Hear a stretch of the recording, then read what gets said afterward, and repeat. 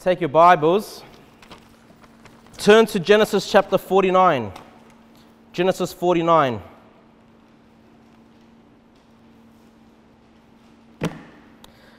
So, the title of the sermon tonight is Remembering the Birth of Christ. Remembering the birth of Christ. We remembered his death not long ago, right? Sunday evening. Now we're just remembering the birth of Christ. I had to get the birth of Christ in there somewhere before Christmas. So Thursday night it is, remembering the birth of Christ. Genesis 49, let's read verses 8 to 12. And you might think, Kevin, this is a weird place to start, but there's a reason behind it. Verse 8 Judah, thou art he whom thy brethren shall praise.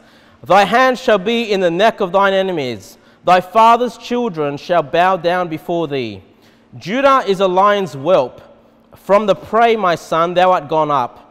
He stooped down, he couched as a lion, and as an old lion, who shall rouse him up? The scepter shall not depart from Judah, nor a lawgiver from between his feet, until Shiloh come, and unto him shall the gathering of the people be.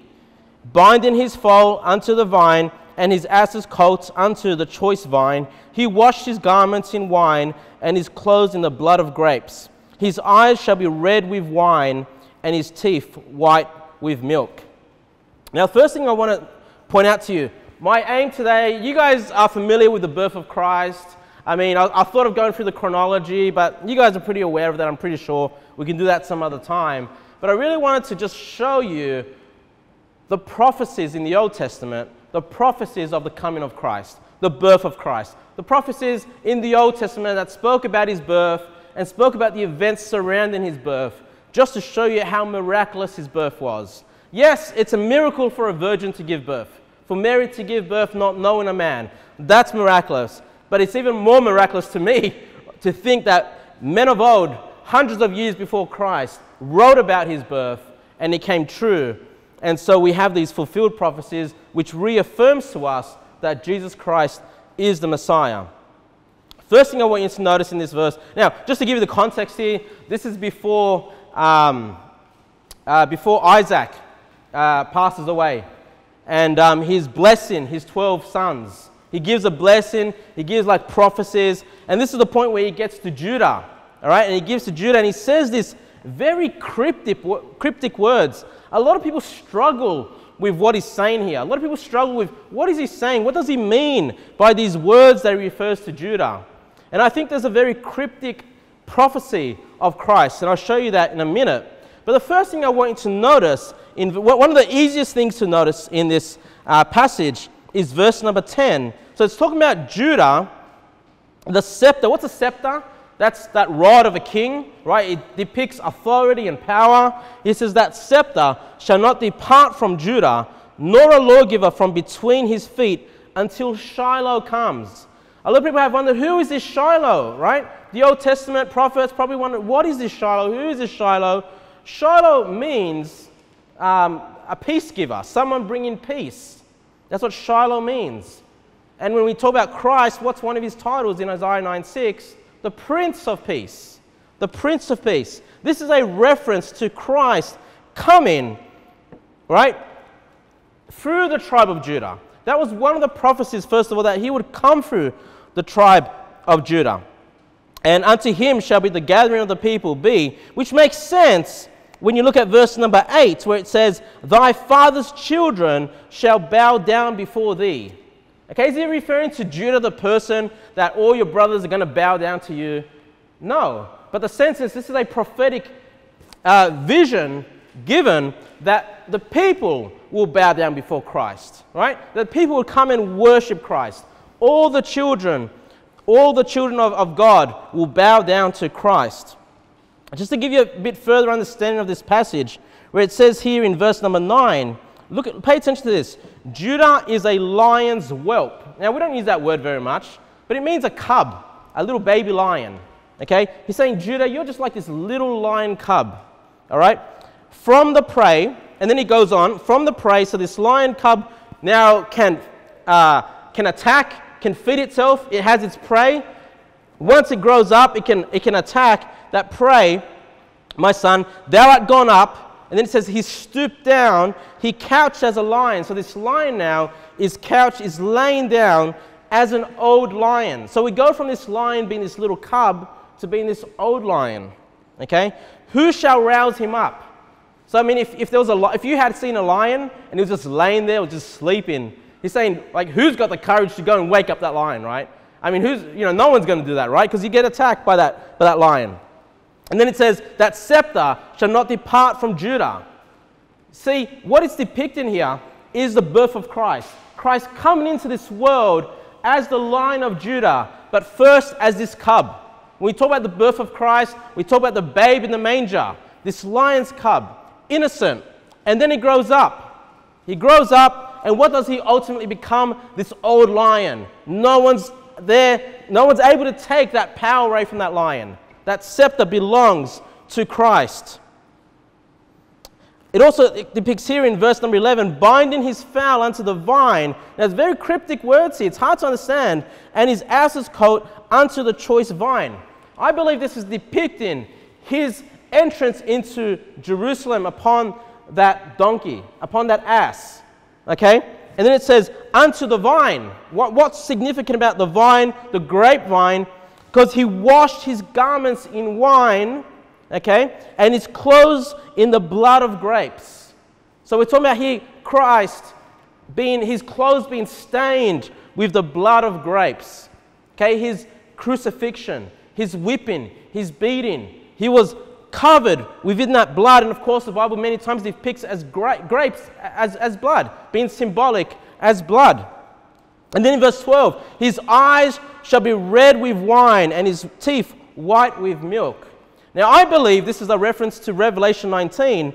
I'll just read it to Revelation 19, because I believe this is a reference when he comes back, not the first time, not his first coming as that lion's cub, okay, but in his second coming in the book of Revelation, chapter 19, you can turn there if you want. Revelation 19, verses 12 to 13. Look at the, look at the words here. Verse 12. His eyes, so remember his eyes were red, right? Where it said, uh, what did it say exactly? His, his eyes shall be red with wine. Okay, and then in verse 12, 19, verse, uh, chapter 19, verse 12 in Revelation, his eyes were as a flame of fire, and on his head were many crowns, and he had a name written that no man knew but he himself. And then look at this. And he was clothed with a vesture dipped in blood, and his name is called the Word of God. I think it's an amazing uh, similarity there in Revelation to this prophecy of Christ in Genesis. Not only do we start with him being this little lion of Judah, but then we end with him being this one with the, uh, the, the, eyes, you know, it's red with wine, but he red with the fire, right? And, and uh, his vesture being dipped in blood, representing his sacrifice that he did for us. So I wanted to bring you this uh, just to show you, first of all, that he was going to be a descendant of Judah and maybe give you a little bit more light as to what this prophecy is about. Because, like I said, it is quite difficult to understand. All right, now Luke chapter 3, turn to Luke chapter 3. Luke chapter 3, verse 23. Luke chapter 3, verse 23. Just one of the many references that he was from Judah. Luke 3:23. And Jesus himself began to be about 30 years of age, being as was supposed the son of Joseph, which was the son of Heli. Now, he goes through the genealogy of Jesus Christ. Go to verse 30. We're not going to read the whole genealogy. Go to verse 33. So, you know, this is where he starts going, the son of this, the son of that. And then Luke 3 33, which was the son of Amminadab, which was the son of Aram, which was the son of Esrom, which was the son of Phares, which was the son of Judah. Okay? So I just want to show you that it was important that he would be from the tribe of Judah. He was prophesied that Shiloh, the Prince of Peace, would come from Judah. And we have that confirmation in the New Testament. Number two, so the first prophecy was that he'd be from the tribe of Judah. The second prophecy is that he would be from the house of David. Remember King David. In Jeremiah 23, verse 5 to 6, it says, Behold, the days come, saith the Lord, that I will raise unto David a righteous branch. Okay, one of David's descendants would be this righteous branch, and a king shall reign and prosper, and shall execute judgment and justice in the earth. In his days, Judah shall be saved, and Israel shall dwell safely. And this is his name. So, are we talking about Christ here, right? And this is his name, whereby he shall be called the Lord our righteousness. This one, this branch, this righteous branch from David would be called the Lord our righteousness. An amazing thing because it says, I'll just read verse 5 again. Behold, the days come, saith the Lord. So the Lord's saying, hey, there's a day coming where this righteous branch is coming, and his name is the Lord. His name is the Lord our righteousness. Just reminding us of the deity of Christ in that passage. Now, if you're in Luke chapter 3, look at verse 31. Luke 3 31. And again, back to that genealogy, which was the son of Melea, which was the son of Menan, which was the son of Mattatha, which was the son of Nathan, which was the son of David. Okay? So important that his genealogy was not just from Judah, but that he would follow that line of David. He'd be the house of David, the family of David. Okay, number three, that Jesus would be born of a virgin. We know that one, right? Jesus would be born of a virgin. Important to cover. Isaiah chapter 7, verse 14 says, Therefore, actually, you guys turn to Matthew chapter 1. Turn to Matthew chapter 1 while I read Isaiah chapter 7, verse 14. The Bible says, Therefore the Lord himself shall give you a sign. Behold, a virgin shall conceive and bear a son, and, his, uh, and shall call his name Emmanuel. Okay, a virgin shall conceive and bear a son, and shall call his name Emmanuel. That's a sign. That was a sign that they would have the Messiah come. Now you're in Matthew chapter 1, verse 18. Matthew chapter 1, verse 18. The Bible reads Now the birth of Jesus Christ was on this wise when his mother Mary was espoused to Joseph. Before they came together, that's important, before they had that marital relationship, she was found with child of the Holy Ghost. Now look at verse 21. And she shall bring forth a son, and thou shalt call his name Jesus, for he shall save his people from their sins. Now all this was done that it might be fulfilled, which was spoken of the Lord by the prophet. That prophet that I just read to you about from Isaiah saying, Behold, a virgin shall be with child, and shall bring forth a son, and they shall call his name Emmanuel, which being interpreted is God with us. Okay? Another proof text of the deity of Christ, God with us. Emmanuel, Jesus Christ. The fourth uh, prophecy surrounding his birth. Uh, you're in Matthew uh, so same Matthew chapter, go to, go to Matthew chapter 2. I'll read to you Micah 5 2. Micah chapter 5 verse 2. But thou, Bethlehem, Ephratah, though thou be little among the thousands of Judah, yet out of thee shall he come forth unto me that is to be ruler in Israel, whose going forth have been from old, from everlasting. Now his going forth being from old, from everlasting, obviously his eternal nature but he come out of Bethlehem, one of the smallest towns, maybe one of the poorest towns of Judah. That's where Christ would be from. Now you're in Matthew chapter 2. Look at verse 1. Now when Jesus was born in Bethlehem of Judea, in the days of Herod the king, behold, there came wise men from the east to Jerusalem. So the fourth prophecy surrounding his birth is that he would be born in Bethlehem. I mean, these things I mean, you know, how can people deny Christ? How can people, how can, I don't understand how, well, I do understand, but how, you know, uh, Judaism, the Jews that, that believe in the Old Testament, believe the writings of the prophets, can miss these prophecies of Jesus Christ. What's the, what's the likelihood that four out of four prophecies will take place for this one person? Okay? And we know there's many more prophecies throughout his life. Let's look at prophecy number five which ties into what we just read. Remember, they came wise men from the east to Jerusalem. That was prophesied. That was prophesied. Um, turn to, uh, well, you actually, you're in Matthew chapter 2. Look at verse 11. Just the first part of verse 11. And when they were come into the house, they saw, talking about the wise men, they saw the young child with Mary his mother and fell down and worshipped him. Okay, so these wise men come into the house. This is after they've gone from the manger. They're now in the house. They saw the young child. He had grown, some time had taken place here with Mary, his mother, and fell down and worshipped him. Worshipping this child, worshipping Jesus Christ, worshipping the Lord our righteousness.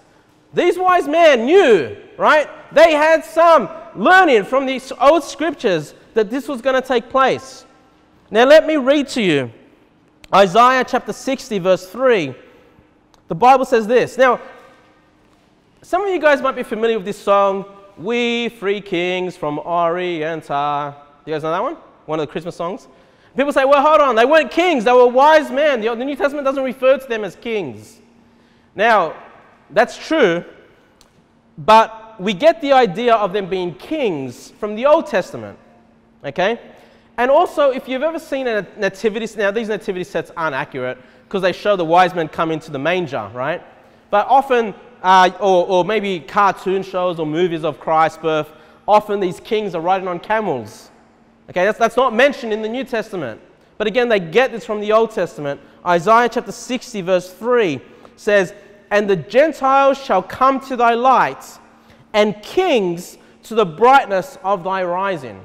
Okay, and kings. So these Gentiles would come. These kings weren't Jews, they weren't from Israel, they were from the east.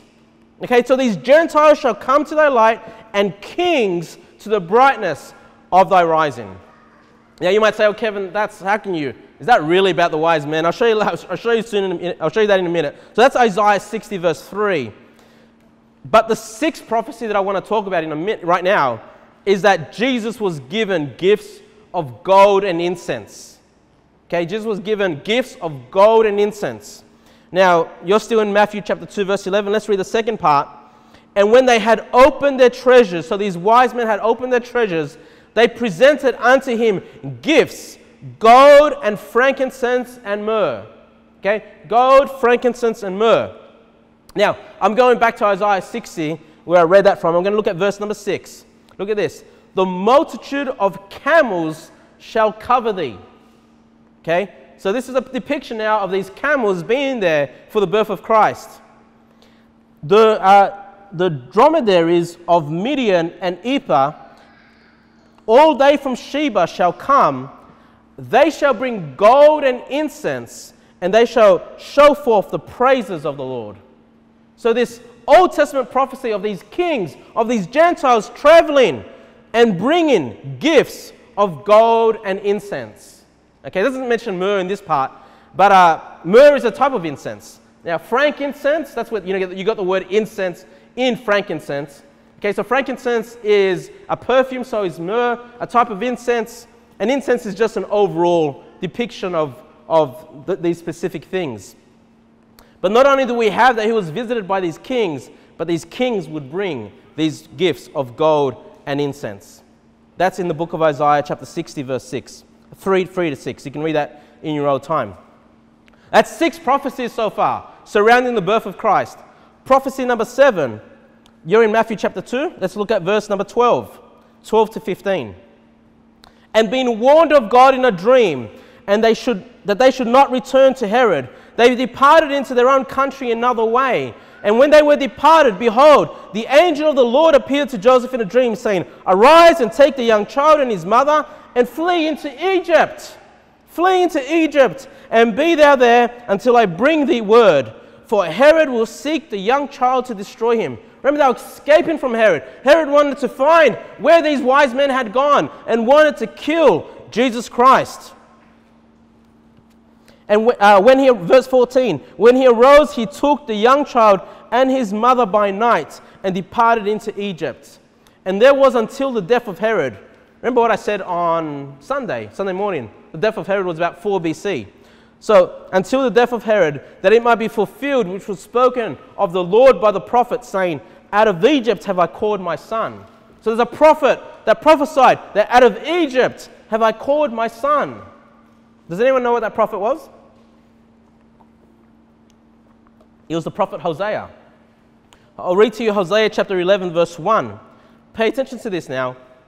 The Bible says, When Israel When Israel was a child, then I loved him and called my son out of Egypt. Right? We know that's a reference. That's what we just read, right? Out of Egypt have I called my son and called my son out of Egypt. Hosea chapter 11, verse 1. But I'm going to read verse 2, which says, And they called them, so they went from them. They sacrificed unto Baalim and burnt incense to graven images. So when we read Hosea, we know that the prophet Hosea is looking backwards to the time when Israel came out of Egypt, when they were delivered out of Egypt. Because then they go on and worship the false gods. You know all about that. You know, pretty much soon after they start worshiping these false gods. And so, obviously, at that point, verse, verse number two, that's not referring to Christ. But Hosea is talking about a past event, and yet God's saying, hey, that prophecy was of Jesus Christ when I would call my son out of Egypt. Okay, this is a double fulfillment fulfilled in the past, fulfilled in the future. Also, a type, a foreshadowing of Christ, right? When Israel left Egypt, that was a foreshadowing, a picture, a type of Christ coming out of Egypt after having escaped into that. So Israel had all these images, all these depictions of Christ, but sometimes they weren't all that familiar with them until we have the re- revelation of the New Testament to enlighten our, you know, our eyes to that truth. Uh, prophecy number eight. So after Herod, we read a little bit about it, but after Herod tried to kill Jesus, he, you know, he couldn't. What, what was his plan? To kill Jesus. You're in Matthew chapter 2, let's read 16 to 18. Then Herod, when he saw that he was mocked of the wise man, was exceeding wroth and sent forth and slew all the children that were in Bethlehem and in all the coasts thereof. What a wicked man! What a wicked man! Slew all the children that were in Bethlehem and in all the coasts thereof from two years old and under, according to the time which we had, he had diligently inquired of the wise man. So he had worked out Jesus must be under two years old. He must be a little older than a baby, but coming to two years old. So he kills all these babies from two years old and under. And then verse 17. Then was fulfilled that which was spoken by Jeremiah the prophet, saying, In Ramah, in Ramah there uh, was there a voice heard lamentation and weeping and great mourning, Rachel weeping for her children and would not be comforted because they are not. So these mothers weeping for their children, not comforted because they are not. They don't live, they're dead. And of course, Jeremiah is a reference to Jeremiah. I'll read it to you Jeremiah 31, verse 15. Thus saith the Lord, a voice was heard in Ramah, lamentation and bitter weeping. Rachel weeping for her children, refused to be comforted for her children because they were not. Okay, now, all of these prophecies so far, I've been able to go back to the Old Testament and show you. Okay, I've been able to show you where they are in the Old Testament. But prophecy number nine is a little bit challenging. Okay, and I've got a theory behind this, but let's read it. You're in Matthew 2, verse 22 to 23. Matthew 2, 22. But when he, had, when he had heard that Archelaus did reign in Judah in the room of his father Herod. So after Herod passed away, his son reigned in Judea. He was afraid to go thither, notwithstanding being warned of God in a dream, he turned aside into the parts of Galilee. And he came and dwelt in a city called Nazareth, that it might be fulfilled which was spoken by the prophets, he shall be called a Nazarene. So Jesus would be called a Nazarene. Why? Because no, he wasn't born in Nazareth, he was born in Bethlehem, but he was raised, he grew up in Nazareth. Okay? So he would become a Nazarene. Now it says that was might be fulfilled which was spoken by the prophets. Now here's the thing. You cannot go to the Old Testament and find this at all. You will never find a reference that Christ would be called a Nazarene. Some people have gone to um, uh, uh, saying that uh, Samson would be called a Nazarite. And they go, oh, well, that's what it means. But no, Nazarene and Nazarite only sound, only sound similar in English. All right? It only sounds, and it's not even the same thing. All right? Now, Nazarite was that person that made a vow. You know, they weren't allowed to take any, eat any grapes. They were to grow their hair and not to cut it, and many other things. But a Nazarene is someone that grew up in Nazareth. Okay? So they're not even related. Now, here's my theory, and I've said, I've said it to a few of you guys before. I believe that the Old Testament prophets spoke many more things than what is actually recorded for us in the Old Testament. I believe that they had much more knowledge of Jesus Christ than what was referred to. We can see it here because this was spoken by the prophets. The prophets said, hey, Messiah is going to be a Nazarene. Prophets, plural, not just one prophet, many prophets said this, okay? But you will not find that in the written record, okay, in the Old Testament. Um, is it Enoch that we have what he preached in the New Testament, but it's not covered in the Old Testament? Same thing, right? So we do, we do know what they said. We do know that they said that he was a Nazarene, but they were, they were quoting Matthew. They were quoting Matthew chapter 2, verse 23, before that was written down. I just thought that was an interesting thing. But we have these nine prophecies surrounding his birth. Now, the next question is, and this comes up every now and again, and even I've thought about this, um, because here's the thing growing up in a Christian home, we celebrated Christmas, right? We had the decorations, the Christmas trees, the Christmas cards, the presents, all that. And as a child, I grew up thinking, now I don't know if my parents put this in my mind or I can't remember, but I just grew up thinking that December 25th was Jesus' birthday. I actually really believe, factually, he was born on December 25. And so I would say, hey, we're celebrating the birth of Christ not just remembering the birth of Christ, but I actually thought that was his birthday, literally, right? And I always found that confusing. Why am I giving gifts? Why am I receiving gifts? I mean, it's Jesus' birthday. I should be giving him gifts.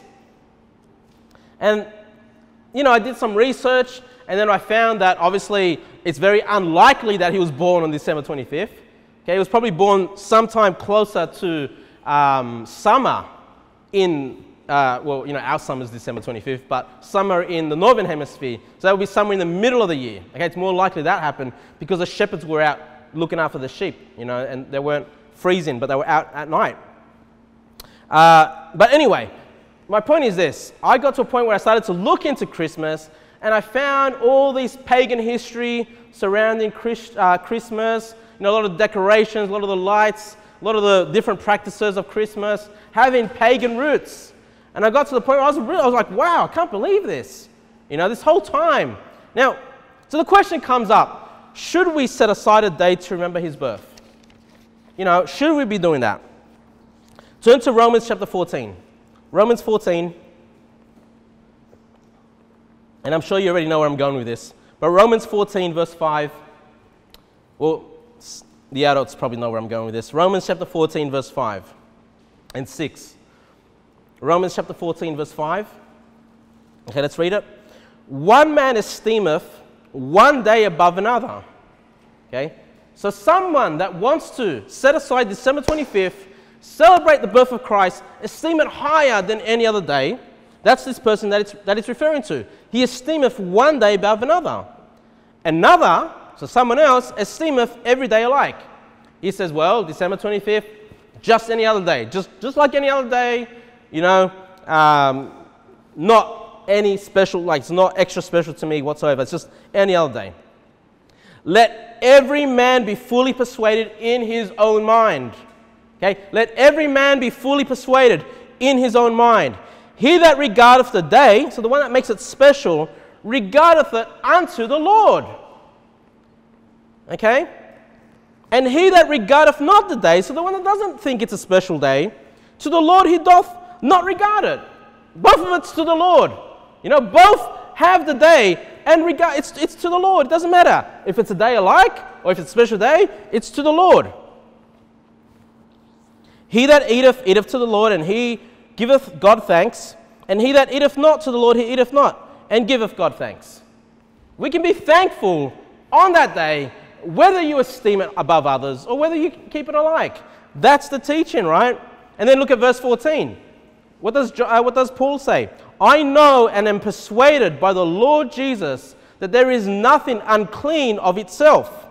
But to him that esteemeth anything to be unclean, to him it is unclean.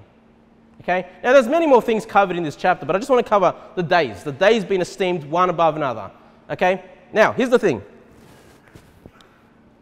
There are certain things that I found out that had pagan roots. That makes me uncomfortable, okay, to have in my house okay, some of the lights and some of the things, right? So I don't do it. We don't really make a big deal of Christmas, okay? But what does Paul say? I know and am persuaded by the Lord Jesus that there is nothing unclean of itself. Okay? So, in of itself, there's nothing unclean. Is having lights unclean? Is it sinful? No, in of itself it's not just lights. Decorations, it's not sinful, it's not unclean in of itself, right? Uh, Christmas trees, is it, is, it, is it wrong to have a tree in your house? Is it wrong to decorate a tree? No, I mean, it's not unclean. But for me, when I found out the pagan roots, I, I, I, was, I was uncomfortable with it. All right, I was uncomfortable, and I'll show you, I'll tell you why in a minute. But the key thing that I want you to keep in mind in verse number five let every man be fully persuaded in his own mind. Okay, there's no right or wrong here. You know, allow every family to celebrate Christmas the way they want to celebrate it. Or if they don't want to celebrate it, let them not celebrate it. And don't make it a judgment call. Don't say, oh, look at these Christians out there with the lights and decoration. Don't they know there's all this paganism and there's all this stuff? Why are you doing that? Hey, they esteem it to the Lord. They're doing it to the Lord. There's nothing unclean with what they're doing. Hey, but if you have problems with it, if you think it's unclean and it's a problem, then it's unclean to you. You know, just, and one thing that I don't like about Christmas is how many times people fight over Christmas. I mean, families are always fighting during. It's a time of joy. It's supposed to be a time of joy, of peace, getting together, loving one another. There's always fighting about. It. There's always something going on in Christmas. You hear about it from all kinds of people. All right. Look, let every man be fully persuaded in his own. Let me just say that. Let me say, let every man be fully persuaded in his own mind. And so, to me, I don't make it a big deal. Right? I don't, I, someone makes a big deal of Christmas. Thank God for them. You know, they're doing it to the Lord. Someone says, you know, Kevin, I really don't really care. That's fine. You know, we're not commanded to celebrate Christmas in the Bible, okay? But if someone does it, praise God. Praise God, they do it, you know? And I have nothing wrong. Like, if someone invites me over their house and family or friends, hey, let's have a Christmas lunch, Christmas, great, because there's nothing unclean of itself. Nothing unclean with going on that day and having and partaking in, of a lunch together, celebrating together, giving gifts. What's unclean about giving gifts, right? You know, there's nothing. So you know, remembering Christ, people remembering Christ on that day, perfectly fine. Hey, if you want to remember Christ on December 26th, perfectly fine. December 24th, perfectly fine. January 1st, perfectly fine. July 16th, perfectly fine if you want to remember Christ during that time. That you don't need to necessarily keep it on December 25th. But I understand why people make it a big deal and feel uncomfortable doing it because of the pagan history, because they think it's a worship to some sun god or what have you. Fine, you know, it's unclean to you. But, you know, don't ruin the joy and the party that other people want to have remembering the birth of Christ. That's fine. But here's the key thing. Turn to John chapter 4. Here's the key thing to all of this. John chapter 4, verse 20. John chapter 4, verse 20. Jesus speaking to the Samaritan woman. Okay? She says to Jesus, Our fathers worshipped in this mountain and you say that in Jerusalem is the place where men ought to worship. Jesus saith unto her, Woman, believe me, the hour cometh, and when, sorry, when ye shall neither in this mountain nor yet at Jerusalem worship the Father. So there's a coming, there's a coming a time where it's not about Jerusalem, it's not about the mountains where you worship the Father. You worship, ye know not what. We know what we worship, for salvation is of the Jews. But but the hour cometh, not only cometh, and now is, when the true worshippers shall worship the Father in spirit and in truth. For the Father seeketh such to worship him. God is a spirit, and they that worship him must worship him in spirit and in truth. In truth. Now, here's the thing. Here's where you draw the line. God receives worship if you worship him in spirit and in truth. If you worship Him just in spirit, but not in truth, that's not acceptable worship. If you worship Him in truth, but not in spirit, you do it in the flesh, that's not acceptable worship to the Lord. Okay? My point is this I think it's important to educate yourself on Christmas. I do. I do think it's important to educate yourself where do these practices come from? You know, should we do these things? Don't just don't be ignorant of it because you want the truth. Okay? And don't lie to your kids and tell them Jesus was born December 25th. Because they're, they're thinking they're worshiping Christ. They think they're worshiping God. But actually, they're not doing that in truth. Okay? So the key thing is no matter how you celebrate Christmas, make sure it's in spirit and in truth. Okay, that's just the thing, that's the thing that I want you to think about. Any kind of worship you do to the Lord must be in spirit and in truth. It cannot be in the flesh and it cannot be a lie. Okay, otherwise, it is not acceptable worship to the Father. Now, in conclusion, please turn to Luke chapter 2. Luke chapter 2. Whether you celebrate it or not, you know, Christmas as it traditionally is celebrated, December 25th. Luke chapter 2, verse 8, I think we've got the key thing here though. Luke 2, 8 to 20. And there were in the same country shepherds abiding in the field, keep a, keeping watch over their flock by night. And lo, so these, these shepherds, they're nobodies, you know, they're just, they're nobodies. but lo, and lo, the angel of the Lord came upon them, and the glory of the Lord shone round them, and they were sore afraid. And the angel said unto them, Fear not, for behold, I bring you good tidings of great joy, which shall be to all people. For unto you is born this day in the city of David a Savior, which is Christ the Lord. I personally believe these shepherds were saved for this angel to come to them specifically to tell them about this Savior being born. And this shall be a sign unto you you shall find the babe wrapped in swaddling clothes, lying in a manger.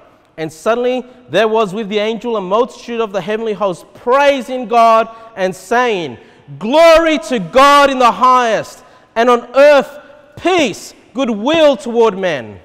And it came to pass as the angels were gone away from them into heaven, the shepherds said one to another, Let us now go even unto Bethlehem and see this thing which is to come to pass, which the Lord hath made known unto us. So these shepherds feel, wow, let's go find out. Let's go see this Jesus Christ. Let's see this babe. The Lord's revealed that to us.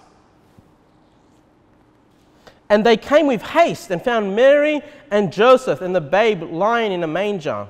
And when they had seen it, this is the key part. And when they had seen it, they made known abroad the saying which was told them concerning this child.